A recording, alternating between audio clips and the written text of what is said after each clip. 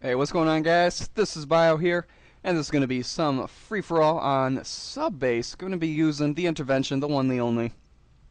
God, I miss that weapon. I miss it very much so. Going to be using the intervention, and my title for this class is going to be appropriately titled, I do believe. Uh, my name is Hutch, as I'm going to be going for to quick scope. It's going to be quick scoping, man. Or at least I'm going to attempt to. I was never. Um, I used back when Modern Warfare 2 was still big, was still it all that in a bag of chips and so on and so forth. I tried to do this for a little while, a couple months. I uh, got better at, it, got better at it, got competent. Um, never up to quite the level of perhaps like a Moody Sweet or something to that effect. Although I don't think he does videos anymore, which is kind of a bummer. I really enjoyed them. But uh, yeah, I never got up to that level quite entirely, and so when I when I started playing, it's like, oh man, I'm gonna suck. I gotta get, I gotta warm back up, and I'm like, warm back up to what? Where was I at? But uh, I don't. Uh, I think I do all right here. So just uh, yeah, let me know if I'm, if I'm bad, if I'm good, terrible, amazing, somewhere in between, which is most likely what it's going to be at. And I tried to shoot that guy in the butt there, but it did not pan out as planned. Uh, kill streak's pretty, uh, pretty normal for me when I try to do sniping game. Uh, UAV, counter UAV, and I believe the Harrier is some kind of kill streak where I'm not, uh, not too involved. Just kind of set it and forget it, if you will.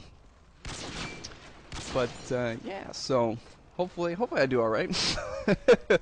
Uh, a lot of people often wonder about that when I talk about myself and uh, my skills, my elite skills or lack thereof. I often, they often you know, ask why, why I either do self-deprecating humor or I just, you know, say that I'm not really that that great when they think that I am. And first off, I mean, you guys only see when when I do really great.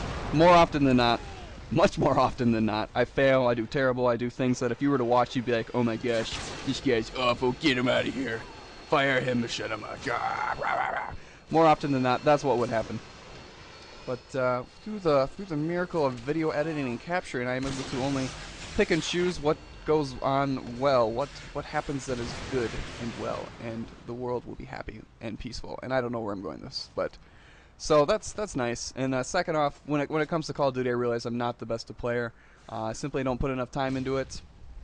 And same thing goes for Halo. It's just Call of Duty. I just, you know, I'm more of a more of a pub star. I'm, I'm ready to admit that. I've admitted it before, and I'll say it again. I totally understand. I've definitely, I've tried to play this game competitively once. I went to a tournament, and we made it pretty far, but then once we, we hit a team that knew what they were doing, they just spawn raped us, and we just, you know, got our crap shoved up, basically. So that uh, that was the extent of my Call of Duty competitive experience, and I will not be going back anytime soon.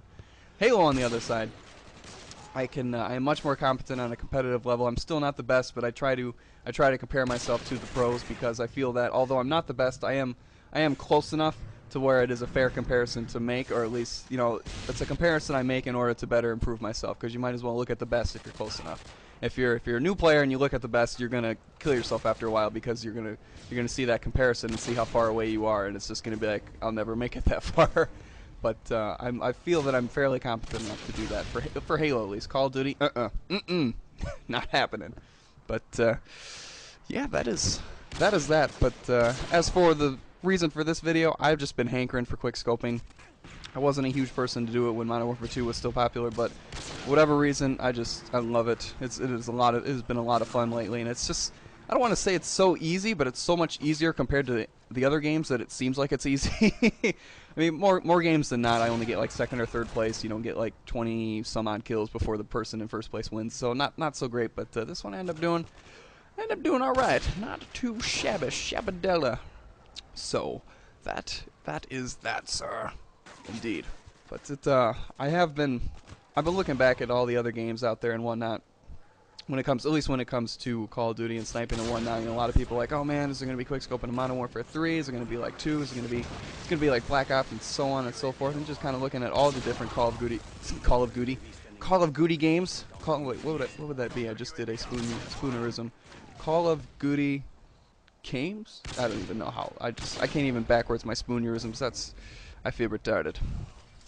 But I've just been looking at all the different Call of Duty games, and one thing I noticed about it is unlike uh, other series like Halo that I want to make a comparison to, it seems that there's quite a division amongst players on what their favorite game is. So right now, Black Ops sees about, whenever I'm online, about 500,000 people, at least on Xbox Live. PS, uh, PS Network, I have no idea. Uh, I will assume probably somewhere about that, maybe a little less. But about 500,000 people online. Whenever I hop on to Modern Warfare 2, however, I still see about, you know, 150,000 people online which is kind of interesting. And then uh, Call of Duty 4, I don't believe there's a counter for how many people there's online. I haven't played that in a while, but I can, you know, based on what I've seen from a lot of directors, uh, there, there's still a lot of number, or excuse me, a large number of people still playing that game, and there's definitely there's definitely different camps that people have set up. You know, there's the people that say, "Oh, Call of Duty 4 is the best game ever. All Call of Duty's after us. Shock, rah, rah, rah, rah, rebel, rebel, rebel."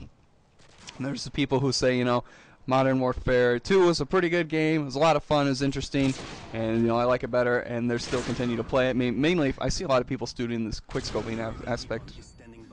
Oh yes, he's mad. You mad, bro? You mad? You mad? You mad? He mad? Yeah, he mad. Oh yeah. But no, I still see a lot of people coming back to Modern Warfare 2 for a lot of the things that you can't do in Black Ops, like quickscoping, uh, knifing only because it's a little bit easier, and whatnot because of Commando, where you can lunge at people halfway across the map and whatnot. And then obviously you have the Black Ops Black Ops Squad. And for to make a comparison, when you look at Halo, that isn't the same at all. I mean, everybody's playing Reach. There's maybe a couple thousand people playing Halo 3, and obviously Halo 2 isn't even online anymore. They turned the offline off, except for the online off. The offline off. they turned the online off, except for the PC, which I imagine there's probably not too many PC gamers playing Halo 2. I could be wrong. There could be a ton of you know uh, Halo 2 people from the Xbox who switched over to PC, like uh, Night of Light. He kind of does that, but uh, so it's just interesting that that it split off has happened. That you know, after after each successive game, the whole group of fans at large doesn't just move on to the next game; they stick on to the previous for a while. And so I just, I, I don't know, I just took notice of that. And I thought it was kind of interesting, something to point out, and something to ponder, to you know, kind of grope my beard and get a kind of get a kind of a squint going on, like I don't exactly know what's going on. You know the face, you know what I'm talking about. I don't really have a beard, so this isn't working too well. So, but you get the point I'm making. It's interesting. Let me. What do you guys think? Why? Why is that? And I understand, you know, everyone's got their own crazy opinions, but try to keep it uh, try to keep it level-headed, and try to keep the the uh, the troll hounds at bay, if you will. I believe this game is going to about come to a close here if I don't uh, get shot up by an SMG and again if I stop failing here. I think I died. A, I think I died a couple times in a row with my final death. I didn't. I stopped stopped doing so well after that host switch. And oh yeah, that's right. No no 360s. Sorry, my bad. but that's gonna be it for this game, guys. Final score is gonna be 30 kills, 12 deaths. Let me know if you liked the gameplay. Let me know if you thought I was good, bad, in between, so on and so forth. I do appreciate the feedback. I will catch you guys later. Thanks for watching.